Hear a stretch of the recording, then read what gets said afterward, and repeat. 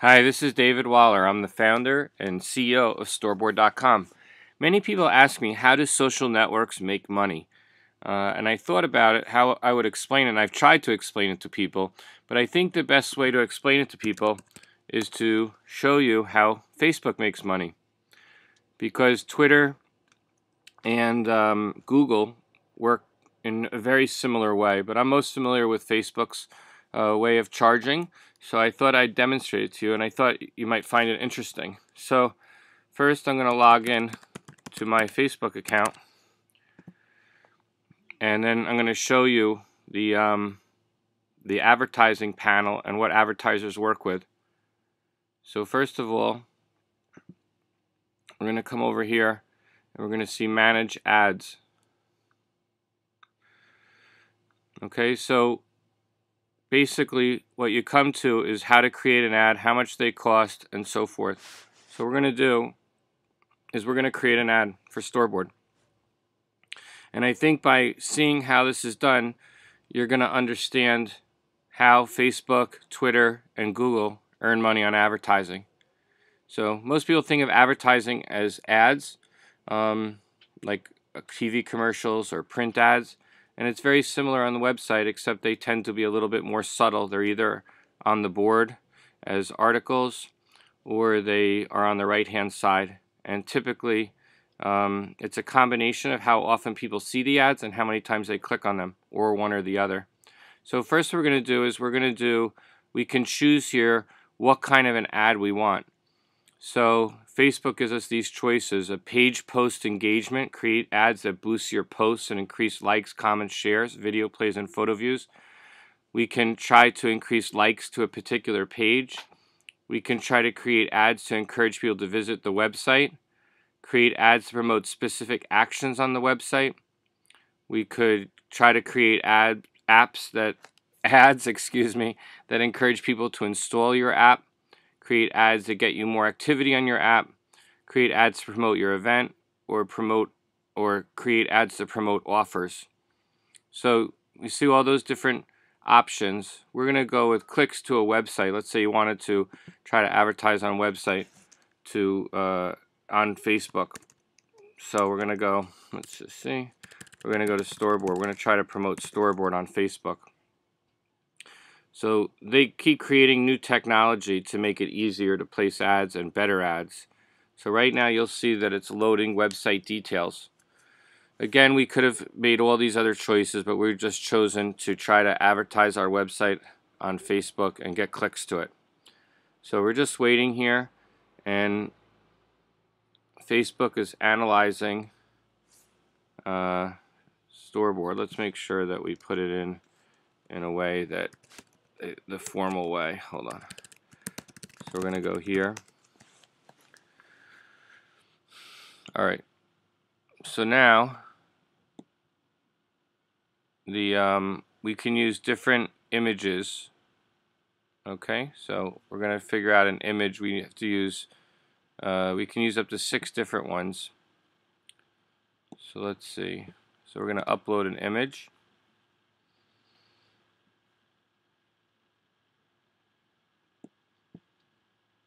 Let's find my storeboard, uh, storeboard logo. Hopefully that won't take too long. Okay, here we go. So now we have a logo.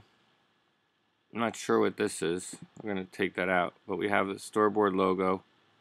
And we can also browse a library or um, use professional images. Let's look in the library. That's gonna that's gonna look in our own images. So maybe we're gonna try this one. Okay. So now we have, did we do that? Let's see. Okay, we're going to try to, no, that's browse images. So we're going to look in our own images. We're choosing this one. And should I put done? Okay, so now we have two images. I'm just trying to demonstrate this because I think it's kind of cool. Now we're going to find images and we're going to put in a search word. Why don't we put storeboard.com and see if there's some images in Shutterstock. This is powered by Shutterstock. And we can see basically if there's any images of storeboard.com in Shutterstock. It's looking and looking and looking. Hmm. There's many in Google Images, but perhaps it's having a hard time finding them. Let's see. Let's see if we change it to storeboard, if it will make a difference now. So we're going to find an image that maybe says um, increase traffic, right? Storeboard helps you increase traffic to your web pages. Let's see if there's something along those lines on Shutterstock. Looks like there is. Alright, let's see what we'll do here. If there's any great images. Mm hmm This one looks a little silly, but anyway, uh, let's see. Okay, so I don't really, I'll just choose one of them for the sake of it. What's the best one? We'll try this man pulling up an arrow, okay? Let's see what happens here. Right, okay, you get the picture. Now we have three images. So Facebook will uh, apparently rotate them or try to determine which is the most effective one. Next, what we're going to do is um, we're going to choose a Facebook page. So this was not working too well a while ago. They didn't load all your pages, but this one looks okay. So I have storeboard. Um, what is it saying here? Create. Okay, unsupported previews not available for Facebook link destinations. Alright, let's see what happens now. Now, we're going to come down here and we're going to choose the location. Facebook has over a billion users from all over the world. So what you can do is you can decide I want to place my ad to people in whatever country, Egypt, France, Switzerland, or United States. So here you can add a country. Let's say we put France. All of France, all of United States. You could delete one of them. Then you can choose the age of the users that you want to see it. So let's say we're going to show it to 16 years old and up we can enter a language. We only want English, which is okay. Even if it's targeting France, it'll find people on the system that are from France that speak speak English. We're going to say uh, interest. We're going to put internet. And maybe internet marketing. Now, Facebook knows a lot about its users. That's where there's a lot of discussion about privacy and so forth. So this this is where it all comes to play, is that um, Facebook has this information on everybody, and this allows them to target your ads or target your website or your Facebook page, all the things we went over in the beginning. Let's put business networking. See how it's helping me to choose other topics. And the more topics I choose, the broader the audience becomes. It's telling me right here what's the potential reach of my ad. Let's see. So let's see, it's 7.8 million now. If we take out France, let's see how many people it reduces by. So it's recalculating. It's still 7.8, maybe because many of the French people uh, didn't meet that criteria, especially as speaking English. Let's see if we add a country. We add United Kingdom. How does that affect our potential audience for our ad?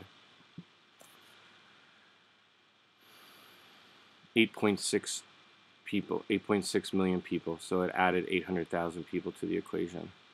Okay, um, we can add English UK also, right? And let's see if that increases it. Okay, so it increased by 200,000.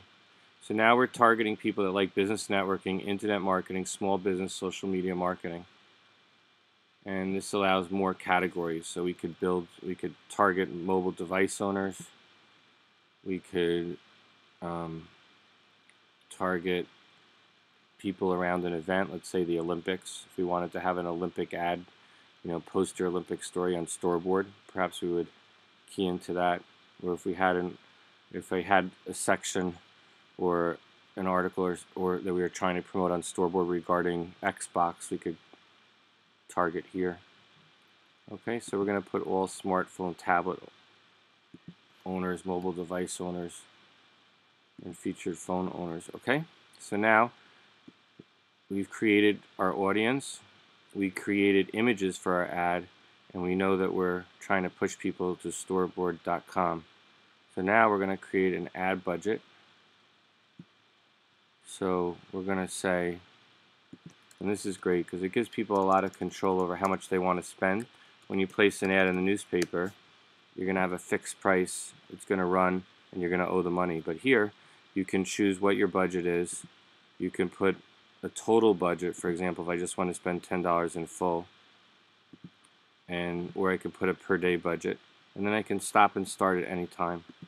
And this is bidding for clicks. This means that I'm, gonna, I'm after people to click and actually go to my website. So by having all these members and having the information in their profiles, they can they they were able to create this system whereby ads could be targeted to the appropriate uh, people. So now I need to put a headline. So I'll put drive more traffic.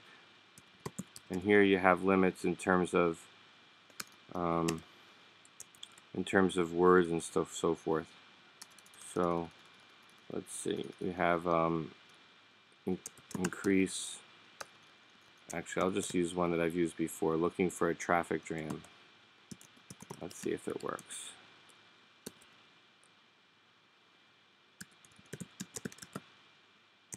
Okay, it has just the number of of letters. Now we'll we're going to write here drive traffic to your Let's fix the spelling here.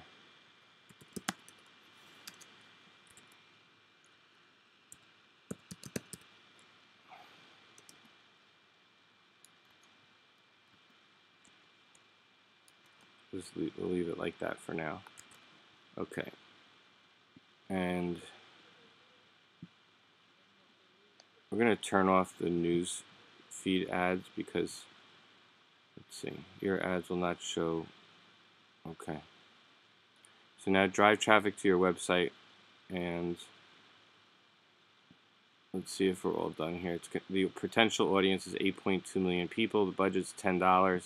We're now going to place the order. And first we could actually review the order we should have done. So this tells us that our ad name is storeboard.com, website clicks, people who live in UK and, and United States at $10 per day. We're going to place the order. Okay, so that's how Facebook makes money. Uh, LinkedIn is similar, although they also charge license fees to human resources firms to better access their database of, of various executives. And Twitter works in a very similar fashion to Facebook, um, as well as Google AdSense. I hope this has been informative and given you some insight as to how social networks charge advertisers and how they make money, as well as obviously you got some good insight to Facebook's uh, advertising panel. Thank you and hope everyone has a great day. And please check out storeboard.com.